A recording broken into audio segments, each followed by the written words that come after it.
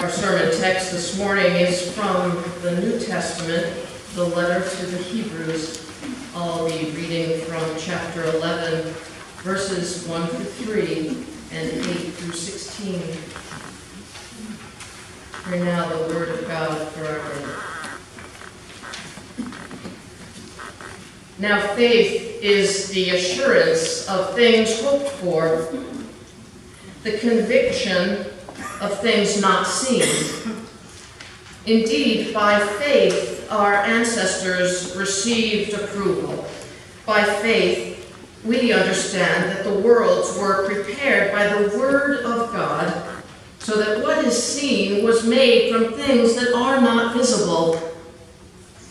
By faith Abraham obeyed when he was called to set out for a place that he was to receive as an inheritance and he set out, not knowing where he was going. By faith, he stayed for a time in the land he had been promised, as in a foreign land, living in tents, as did Isaac and Jacob, who were heirs with him of the same promise. For he looked forward to the city that has foundations, whose architect and builder is God. By faith, he received power of procreation even though he was too old, and Sarah herself was barren, because he considered himself faithful who had promised. Therefore, from one person, and this one as good as dead, descendants were born, as many as the stars of heaven and as the innumerable grains of sand by the seashore. All of these died in faith without having received promises, but from a distance they saw and greeted them. They confessed that they were strangers and foreigners on the earth. For people who speak in this way make it clear that they are seeking a homeland. If they had been thinking of the land that they had left behind, they would have had the opportunity to return. But as it is, they desire a better country, that is, a heavenly one. Therefore, God is not ashamed to be called their God. Indeed, he has prepared a city for them. The word of the Lord.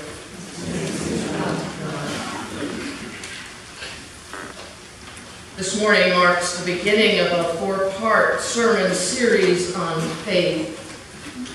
Today and for the next three Sundays, the lectionary scripture passages are from the letter to the Hebrews, a sermon manuscript in its own right, addressed to an early Christian community in the year 63 of our common era. The author is unknown, but may well have been the early church leader Priscilla, later mentioned by Luke in the book of Acts making this book, if authored by a woman, unique.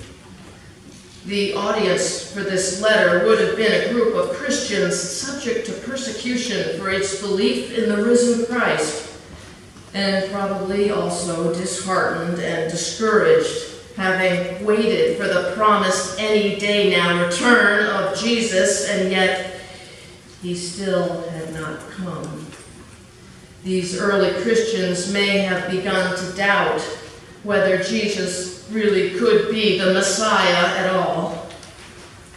And the letter to the Hebrews is an exhortation to a doubting people and argues for patience.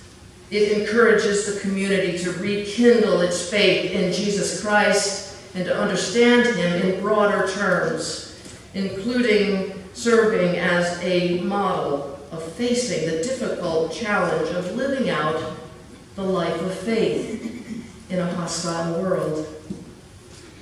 Not so different from Christians today. Let's begin with prayer. Gracious God, open our hearts and minds to your word this morning that we might learn to trust in you like the faithful ones who walked the Christian journey ahead of us. Let us always listen for your call and thrive in faithfully following. Amen.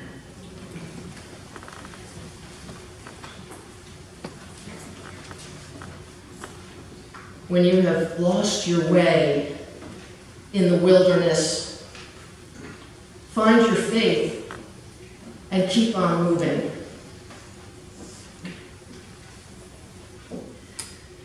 When you have lost your way in the wilderness, find your faith and keep on moving.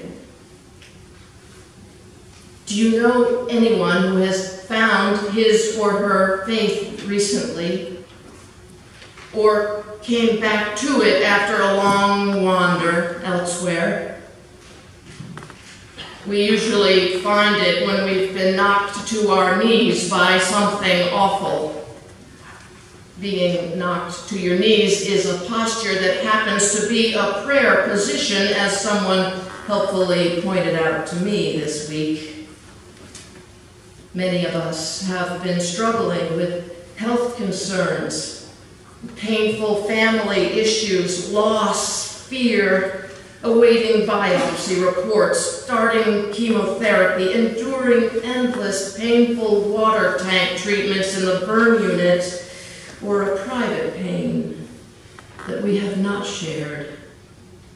We need our faith to survive these disasters. Faith shores us up when we're down, when we are lost, when we feel like we are drowning. For those of us who remember our faith, it's like seizing upon a life ring, a flotation buoy. Faith saves us, preserves us, and gets us back on our feet again for another day. When you have lost your way in the wilderness, find your faith keep on moving. That is what the letter to the Hebrews is all about. Survival from doubt, from fatigue, and from persecution by the renewal of faith. More than mere survival, but joyful flourishing in the life of Christ. The early Christian patriarchs who assembled the books of the Bible thought that this letter was written to a community of Christian Jews because of all the Old Testament references and reminders in it. As a letter of exhortation, it harkens back to the example of the Old Testament faithful. The gospel stories, the books of Matthew, Mark, Luke, and John, were still being shared orally as eyewitness accounts and had not yet been written down. But remember that the letters written to the early churches, including the letter to the Hebrews, which are all filed at the very back of our Bible, are in fact the earliest writings of Christian witness to the life and death of Christ and the mystery of his resurrection. These early accounts were written to fledgling Christian communities, so even though the letter to the Hebrews is at the back of the Bible, it was actually written before the Gospels were. And loss of faith was already an issue early on. Maybe that's what inspired Matthew, Mark, Luke, and John to get started with their writing. Sometimes it's not clear where we are headed. But one thing is for sure the place we wander through, the wilderness we're lost in, the dark place of doubt is not a place to settle down in. You don't want to stay in the wilderness forever. So try not to linger. Being lost is a temporary state of affairs. A sudden illness, a job lost, a death of someone whom we love and depended upon. These challenges often bring on the feeling of being lost in the wilderness, even when we think we have a good handle on life. Other times, our disorientation is expected. When we try something new and challenging but find ourselves quickly in over our heads, maybe our wilderness comes with being a new parent or a newly wed. For some, it's starting a new school or college in a new place, a strange town. Maybe the language is not your own. Maybe you don't know a soul. Or maybe you've left school and want to start life as an independent adult, and yet you find yourself back living at home with your parents and no job in sight. Or maybe you're starting a new job, or still have the old job but with a new boss, or with a new budget cut, or maybe our new business venture failed, or the stock market tanked with all our savings sunk in it our plans ruined, or our future now dim. Now what? What happens if there's an accident? Can we even afford to be sick? Who will take care of the kids? How will we feed them? It's the wilderness all over again. We've all been there.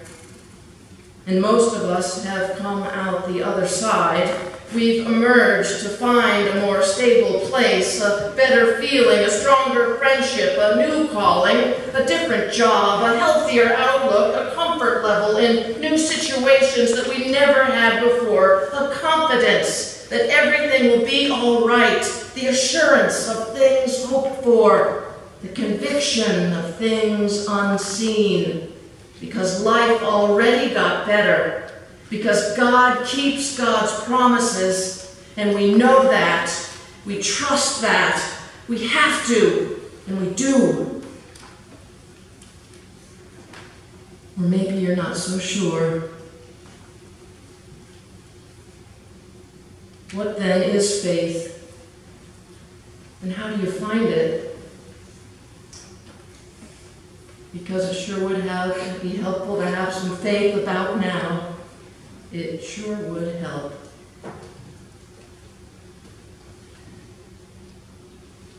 When you have lost your way in the wilderness, find your faith and keep on moving. I first heard these words in a sermon by Craig Barnes, now president of Princeton Seminary and one of my preaching heroes. When I heard his message, I already had lots of experience with the metaphorical wilderness of life and extensive knowledge about being lost in it. But there was only one problem with what he said. Everything seemed to rest on finding your faith in order to move on. He never explained what finding your faith meant, as if I was supposed to know. Yet I wasn't sure. Faith in what? Faith in Jesus? Faith in my own best judgment? Faith in my GPS system? Faith in Christianity as an organized religion? When you've lost your way in the wilderness, find your faith and keep on moving. He never explained the most important part. Faith. What is faith? I puzzled over that for months. It was only when I read this morning's scripture passage from Hebrews that I began to get some reliable answers. Faith is the assurance of things hoped for, the conviction of things unseen. So I recast the preacher's wilderness advice this way. When you've lost your way in the wilderness, find your assurance of things hoped for and the conviction of things unseen and keep on moving. It's a bit clumsy, but a little more concrete.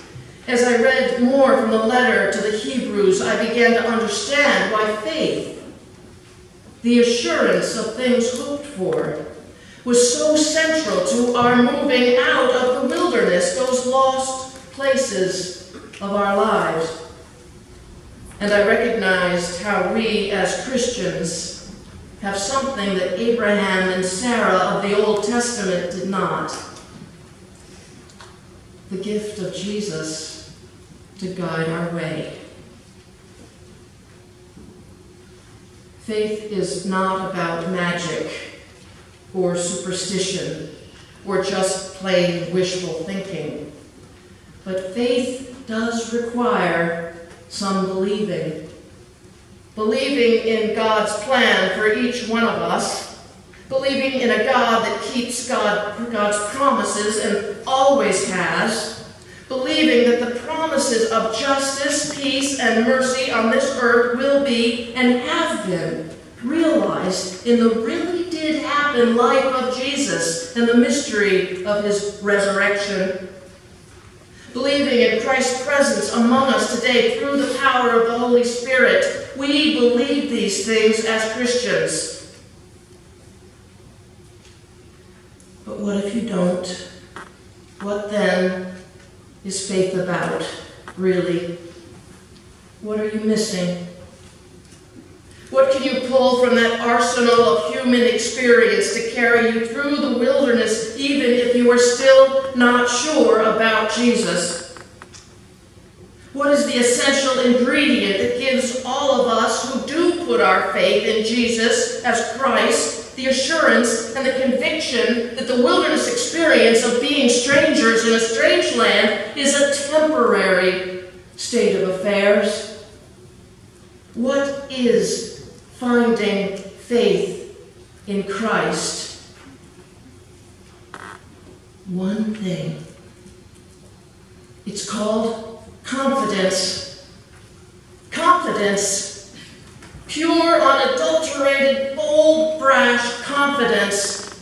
Confidence in the conviction that what you feel firsthand, with that first glimmer of light piercing through the darkest, most desperate days of your life, when your wounded heart and ruptured soul and broken body finally stop bleeding long enough for you to begin to heal.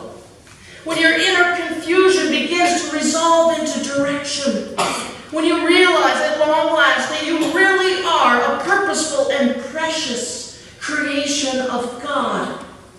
What you feel is nothing less than the love of Christ washing you clean and keeping you afloat like the great waves crashing over a lifeboat, mercifully cleansing waves that become the calm water that holds us up invisibly from underneath. When you are confident in your belief in Christ's presence, you can face down anything that comes your way even whatever it is that scares you most. You can whistle in the dark. You can feel your way ahead. You've got faith, and that's all you need to lift your foot up out of that murky swamp and onto dry land once again. Christian faith is the assurance of things hoped for the conviction of things not seen but already present in our lives. Christian faith is the confidence that God has a purposeful plan for each one of us. Christian faith is the first-hand experience that the Holy Spirit is at work within us and among us here and now. Faith is hope for a better country, yes, but grounded in confidence, conviction, and assurance that God is leading us there one day at a time. Lost in the wilderness, find your faith, have confidence in God's plan, place your hope in Jesus Christ Put your trust in the power of the Holy Spirit and plow ahead with courage. You'll make it through with Christ to guide you. Faith is enough. In fact, it's all you'll ever need. In the name of the Father, and of the Son, and of the Holy Spirit. Amen.